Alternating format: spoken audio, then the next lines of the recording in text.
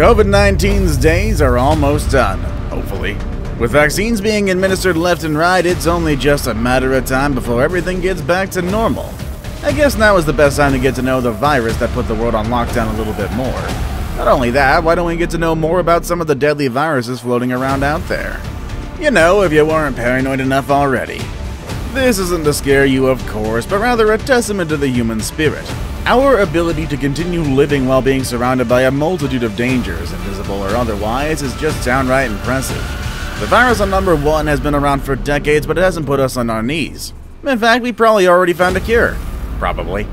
Stay tuned to find out just what that is. Here are the 10 deadliest viruses on Earth. Number 10 The Marburg Virus. Scientists identified Marburg virus in 1967. This happened when small outbreaks occurred among lab workers in Germany who were exposed to infected monkeys imported from Uganda. Marburg virus is similar to Ebola in that both can cause hemorrhagic fever, meaning that infected people develop high fevers and bleeding throughout the body that can lead to shock, organ failure, and death. It's unknown how the virus was first transmitted from its animal host to humans. However, in two cases where two tourists visiting Uganda, it was discovered that they acquired the virus through unprotected contact with bat feces.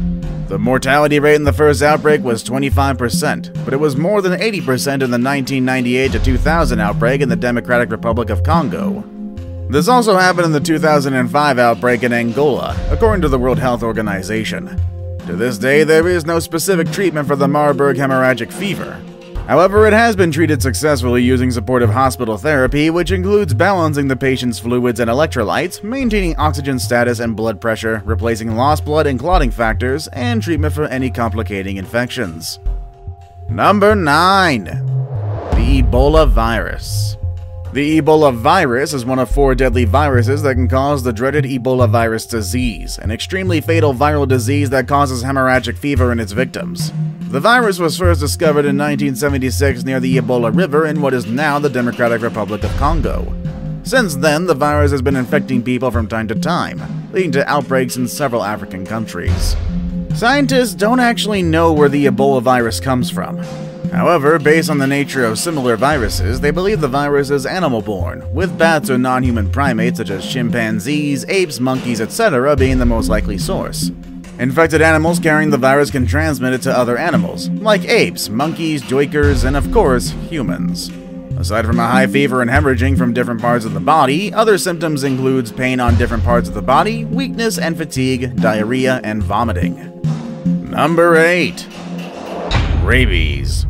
Rabies is a fatal but preventable viral disease. It can spread to people and pets if they're bitten or scratched by a rabid animal. In the United States, rabies is mostly found in wild animals such as bats, raccoons, skunks, and foxes.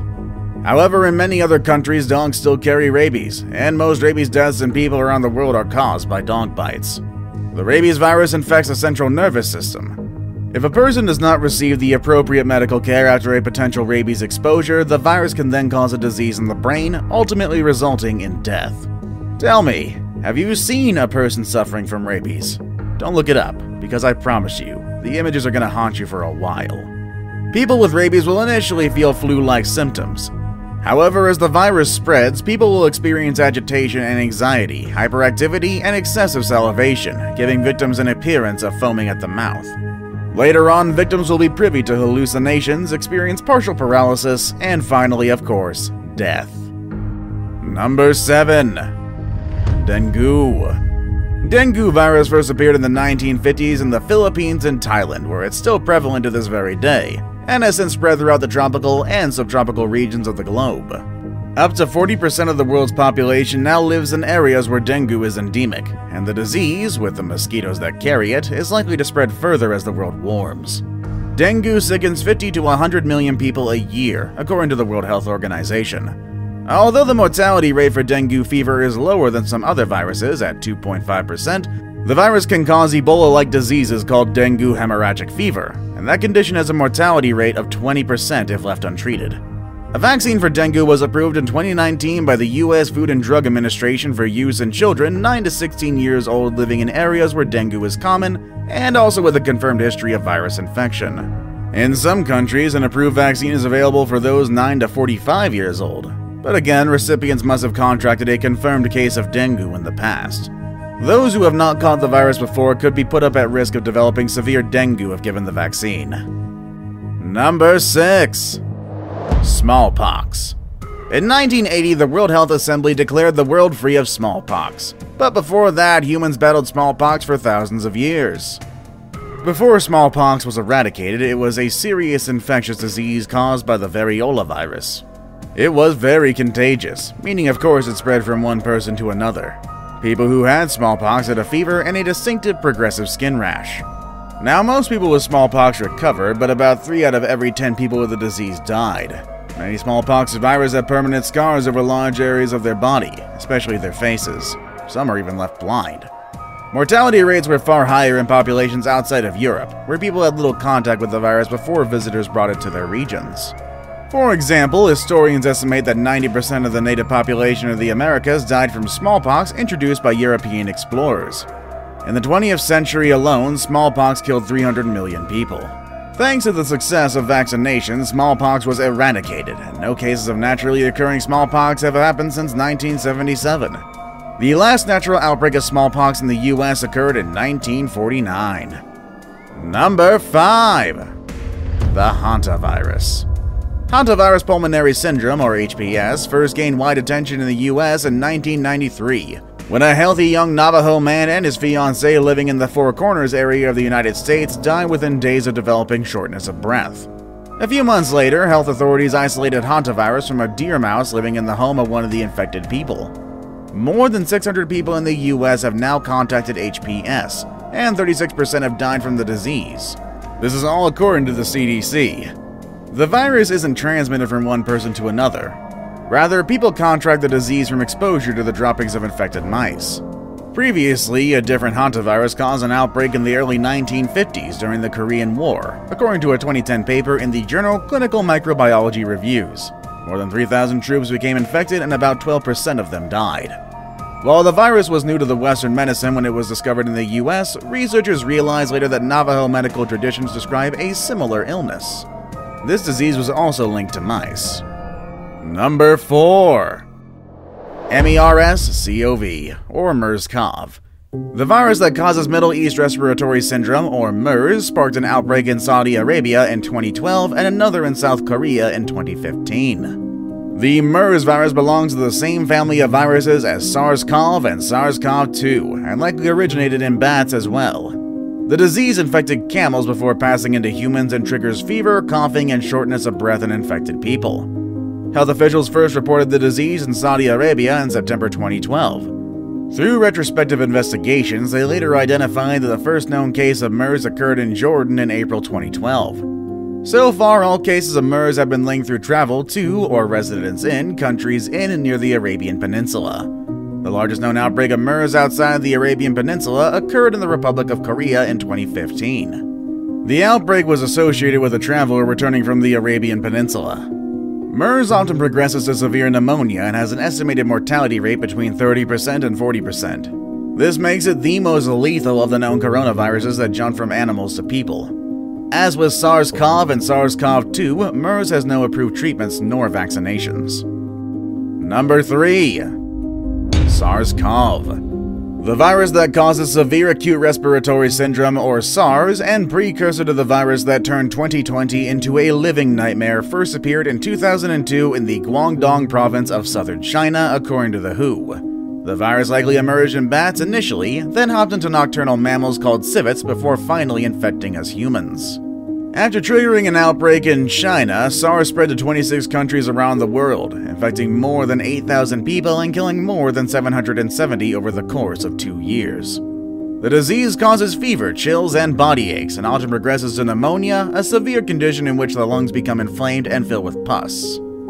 SARS has an estimated mortality rate of 9.6%, and as of yet has no approved treatment nor a vaccine. However, no new cases of SARS have been reported since the early 2000s, according to the CDC. Now it's time for the day's best pick. On second thought, let's call it our second pick. Today's pick is the virus that has the entire world on lockdown right now. We already know what it is and what it does, but let's get a bit more educated, shall we? Number 2 SARS-CoV-2 SARS-CoV-2 belongs to the same large family of viruses as SARS-CoV. This particular strain was first identified in December of 2019 in the Chinese city of Wuhan. The virus likely originated in bats like SARS-CoV and passed through an intermediate animal before infecting people. Remember that viral video of a man eating a bat somewhere in China? Rumors quickly spread that the whole pandemic started from that guy. Although I'm gonna say this, that's pretty unlikely. Since its appearance, the virus has infected tens of thousands of people in China and millions of others worldwide. The ongoing outbreak prompted an extensive quarantine of many countries around the world, restrictions on travel to and from affected countries, and a worldwide effort to develop diagnostics, treatments, and vaccines that's still going to this very day. The disease caused by SARS CoV 2, called COVID 19, has an estimated mortality rate of about 2.3%, People who are older or have underlying health conditions seem to be more at risk of having severe disease or complications. Common symptoms include fever, dry cough, and shortness of breath, and the disease can progress to pneumonia in severe cases. Before we move on, do me a favor. My analytics show that only about 15% of you watching are actually subscribed. Come on guys, what's up with that? Can you guys please hit the subscribe button? You guys watch my videos every day anyway, so you might as well subscribe and keep up to date with every video we put out. Number 1. HIV. In the modern world, the deadliest virus of all may be HIV. It is still the one that is the biggest killer, said Dr. Amesh Adalja, an infectious disease physician and spokesman for the Infectious Disease Society of America. An estimated 32 million people have died from HIV since the disease was first recognized in the early 1980s. The infectious disease that takes the biggest toll on mankind right now is HIV, Adalja said. Powerful antiviral drugs have made it possible for people to live for years with HIV, but the disease continues to devastate many low and middle income countries. These countries are where 95% of new HIV infections occur. Nearly 1 in every 25 adults within the WHO African region is HIV positive, accounting for more than two thirds of the people living with HIV worldwide. There is a silver lining, though. Just earlier this year, two people have been successfully cured of HIV, giving hope to millions of people all over the world. All of these viruses are definitely deadly, but don't count out the human will to survive just yet. Cures are always being researched and tested, and the speed in which the vaccine to COVID 19 is proof of that. Then again, prevention is still better than any cure, so always remember to follow the safety procedures in your area. As always, thank you all for watching, stay safe, and I'll see you all next time. Later, everybody!